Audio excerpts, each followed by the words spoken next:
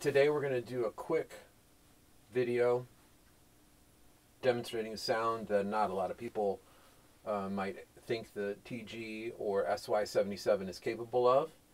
And honestly, it's not exactly the sound, but it's a very reminiscent sound, and that sound is the super saw. And the way we're going to start is by entering our edit mode, and we're going to select 02 2 AFM mono. And we'll go ahead, it's initialized, but let's go ahead and initialize. Sometimes um, parameters stay from prior experimentation. So we've got an initialized sound now with two elements, just a sine wave. Oh, and by the way, my fancy little uh, oscilloscope will let us see the sounds as we make them. For now, I'm going to turn off element 2. And I'm going to work exclusively in element 1. we're going to go to the algorithm screen, and we're going to press F1 to bring us to our feedback matrix. What we're going to do is we're going to generate saws by using operator feedback. The way we're going to do that is we're going to go to our algorithm screen and we're going to select algorithm 45. All six operators are carriers that we will also use to create feedback, turning a sine wave into a saw wave. I'll show you how that works. So we move over to our source for feedback what we're going to do is we're going to take the output of operator 1 and we're going to feed it into the input of operator 1. Then we're going to take the output of operator 2 feed it back into the input of operator 2 and you guessed it, the output of operator 3 and feed it into the input of operator 3. Let's check and make sure our input levels are all at 7. Now we only have three feedback opportunities in the TG or SY77. We're going to use all three, but we're going to do a trick at the end to double that. Now we're going to go over, skipping through screens 2 and 3, to our output stage. Right now, if I hit a key, you're going to hear the output of operator 1, which is something very close to a sawtooth.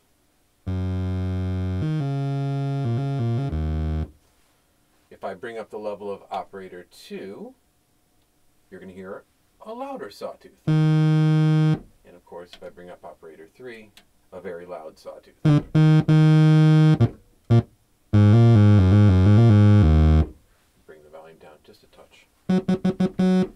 Not a very interesting sound. What makes a super saw interesting is that it's detuned and out of phase. So the next step is to go to our oscillator screen, O2. We're going to move around.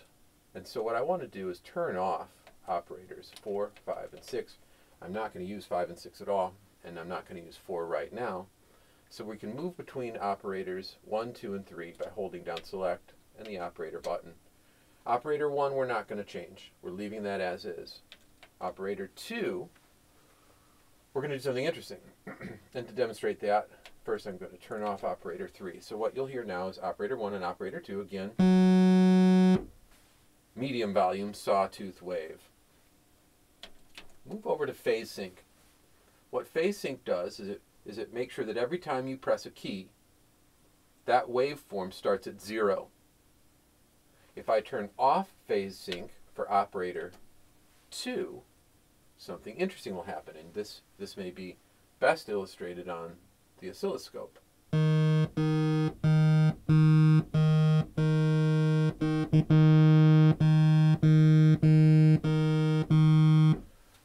Operator 2 is now out of phase with operator 1.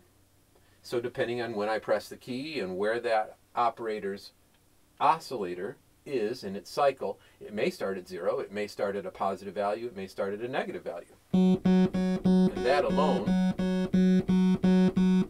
that phasing, causes a great variety in tone and even in amplitude. So let's turn operator 3 back on and we'll move to operator 3 and we're going to do the same thing. We're going to turn off phase sync.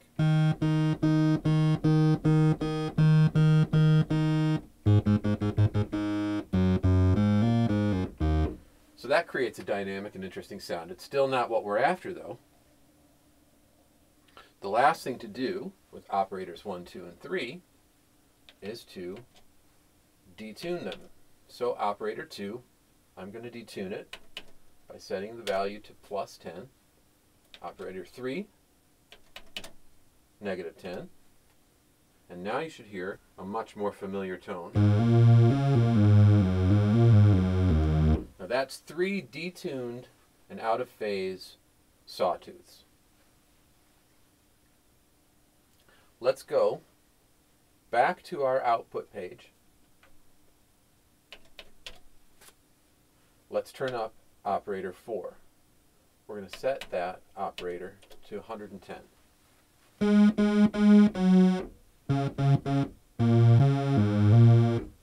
Can't hear it because I've muted it, so we're going to turn on operator 4 by holding down the green operator button and pressing 4 on the keypad, and now you'll hear operator 4. Not very interesting. Let's go back to screen 2. We're on operator 4 already. And let's take our coarse tuning down to 0.5, which means it'll be one octave below. And now,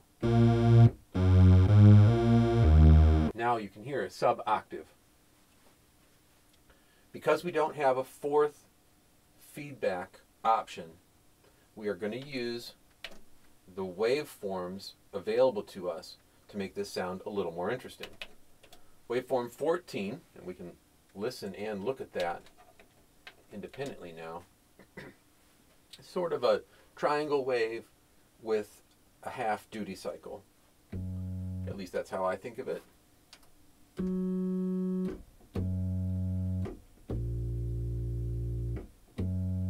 Probably a better technical definition. That's our sub sub octave. This is our sub oscillator.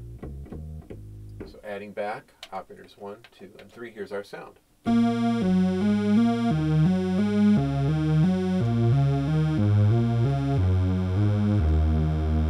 So that's three detuned saws and one sub oscillator. But if you recall, we did select a two element voice. So what we'll, we'll do now, what we're going to do now is we're going to enter element 2, which is currently off. And you'll see if I turn off element 1, turn on element 2, it's just a sine wave. I'm going to go into the algorithm screen. And on the left where you can't see, I'm going to press the red copy button. I'm editing bank D, patch 7. And so I'm going to select that as a source. And then I'm going to press the element button. And my element number 1, which we were editing just now, will be my source. And what this will do is it will paste element 1 into element 2. That's if we're lucky. And sometimes I forget, yes, we're in element 2. So we're going to press enter to enter any screen, copy. Source is the same patch that we're editing. Element, element 1, press go. Fingers crossed. Now if we are listening to element 2, it should sound like a copy of element 1. So now let's turn on element 1.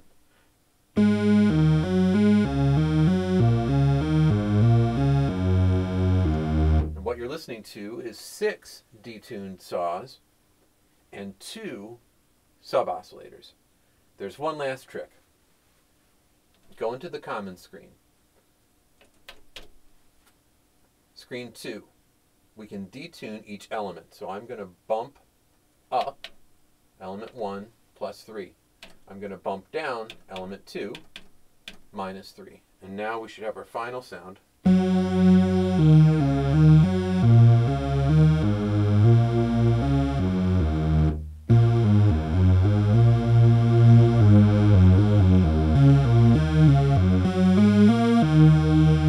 A fairly convincing sounding, detuned saw. Hope you enjoyed it. Hope you found it useful.